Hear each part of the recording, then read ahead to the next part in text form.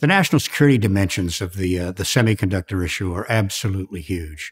We're all aware of the important role that these uh, devices play in high-end weapon systems and capabilities. If we want to continue to be able to uh, preserve peace, and encourage deterrence around the world, we've got to ensure that we have unfettered access to these capabilities. So from a national security perspective, there's huge number of dimensions. We won't talk about the tactics of this, but we need to think about what is a, uh, what, what, what are the implications of a, of a blockade or a quarantine or a cordon sanitaire around Taiwan by the uh, People's Liberation Army Navy from, uh, from uh, uh, mainland China? What would that represent for all of us? And, uh, and you know, you need to think about the worst case and then work things back from there in terms of hedge strategies. And I think that's the optics that are certainly on the mind of many as we try and craft a regional uh, and global partnership of like-minded nations that are committed not just to uh, to sharing the technology and and creating resilience in the semiconductor field, but are also committed to the uh, to the longevity of a nascent democracy of now just over 25 years duration. The other piece that I think we uh, we need to think of is the, the similar relationship with our international partners.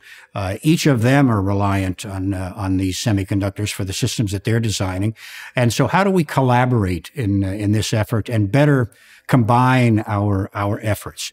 That's a big part of new partnerships that are being crafted around the globe. The uh, the AUKUS, the Australian, UK, United States relationship. A big piece of that, the so-called Pillar Two, is technological sharing, cooperation and, and research and development, and the like. And so there's ability to broaden that and make therefore more robust and more resilient the architecture that supports our collective security going forward. The communication that we have with Taiwan as this report is published and as we craft policies that are going to affect Taiwan is hugely important. Quite frankly, there is an emergent uh, concern on the part of Taiwan business and the Taiwan people that for the West, it's only about the semiconductors. And that as we move these things onshore, as we are in Arizona, or migrate some of the uh, the manufacturing, uh, as has been done to uh, to Korea and Japan and uh, and even Vietnam and other uh, uh, nations in the region, that we won't then care about Taiwan. Interestingly enough, the Chinese Communist Party has seized on this. And you see a lot of this in the Chinese media trying, they're, they're reaching out to the Taiwanese people and telling them they don't really care about you. It's transactional for the United States. They, uh, they just want your, uh, your capability to produce semiconductors.